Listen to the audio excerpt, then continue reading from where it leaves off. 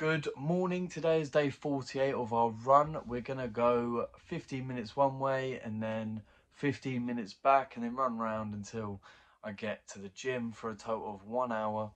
Today we're going to be doing shoulders, bicep and tricep in the gym. We've got some work to be doing, which we're going to do that as well. So come along with me. And um, today is your sign to start running. If you're not currently running, start with just five minutes per day.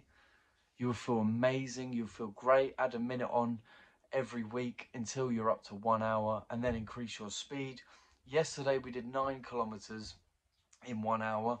We're going to go for nine and a half kilometers today and um, just slowly increase the speed uh, until we can get much quicker. I do plan on doing a marathon next year, the next London Marathon, and um, there are tickets to pay for it, or I could just sneak in because I'm not there for a medal.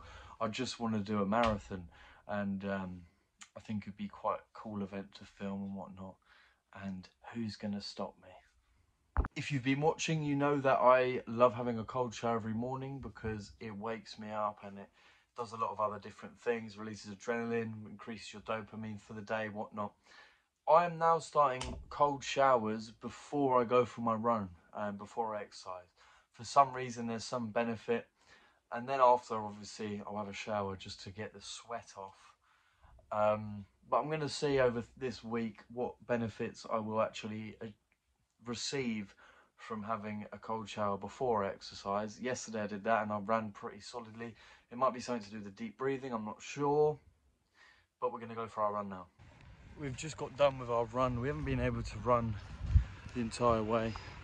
But uh, we did pretty well. I mean, yesterday we did a tremendous feat record out of all of our runs. So it makes a lot of sense why I'm so drained and knackered today but it's not a big deal because we're on the way to the gym now do a great shoulder workout and uh, remember it's the consistency that is important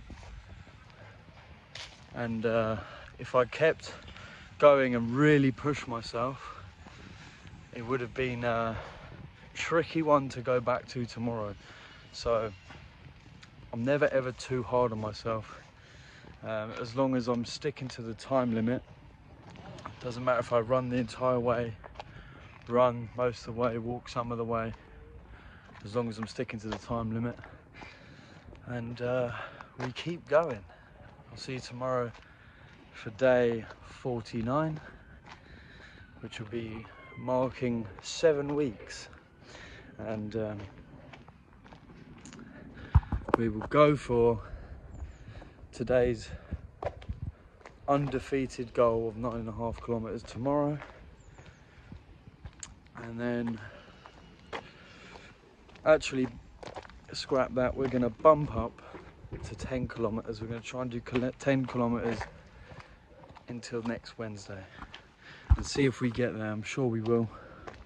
But that'll be the weekly goal because as you know, I have a weekly goal for my running and now it's just gonna be the speed and the pace the next goals because I'm not doing more than an hour.